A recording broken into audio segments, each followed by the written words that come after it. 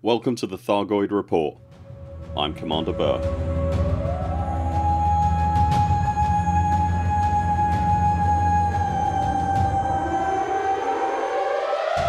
This is a distillation of the excellent weekly thread from Burton Simmons on Reddit. For finer details on the why and the what of the Thargoids activity then do give that post a look. I've linked it below.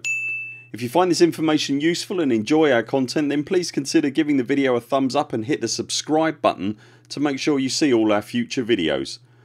The following stations are currently swarming with rich people who will hose you with credits for a 20 second frameshift ride and are subject to ongoing rescue operations.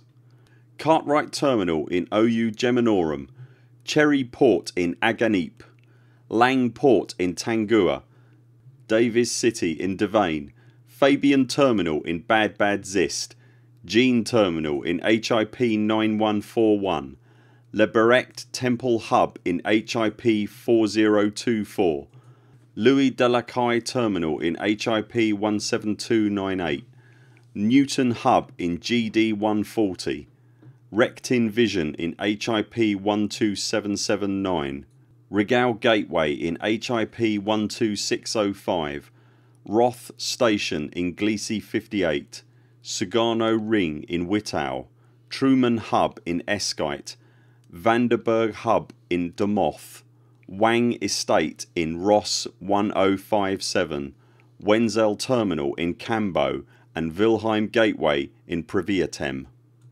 Notice how I didn't giggle when I said Wang Estate. Look how I've grown. If you are going into a burning station bring all the heat sinks. Links to my previous videos on this subject are below.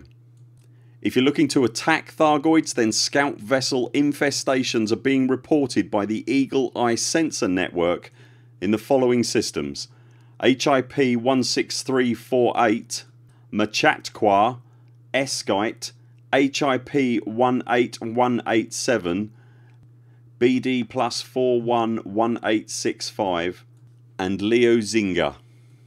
If you are engaging in anti-Thargoid scout combat operations you don't necessarily need specialised equipment but the entry level anti-Xeno weaponry requires no unlocking and it really helps. The scout class vessels count as elite ranked ships so this is an excellent way to level up your combat rank. For the more hardcore combat zone encounters the following systems are under Thargoid incursion right now and will have combat zones that offer both scouts and larger Thargoid vessels. OU Geminorum, Ross 1057, Bad Bad Zist, Aganippe, GD 140, Gliese 58, HIP 17298, HIP 4024, HIP 12605, HIP 9141, HIP 12779, Tangua, Domoth, Cambo, Priviatem, Devane, Eskite and Witu. For the scouts and the death daisies I'd recommend decontamination limpets added to your standard arsenal and you might want to think about taking shed loads of heat sinks as well. The cone sector critters will struggle to track you when you're cold. If you're looking to wing up with other commanders then there's links below to the AXI, the Hive, the Hand and the Squadrons of Humanity. Between them these organisations have all platforms covered and will help you find advice as well as comradeship. Wherever you go commanders remember pick your fights with care.